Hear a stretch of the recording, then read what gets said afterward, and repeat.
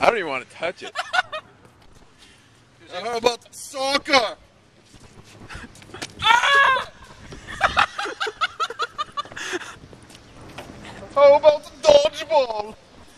Yeah. Dude, there was just another smaller, crappier diaper inside. It dumped all Like a safe within a safe. Well, wear these shoes tomorrow, just like any other day.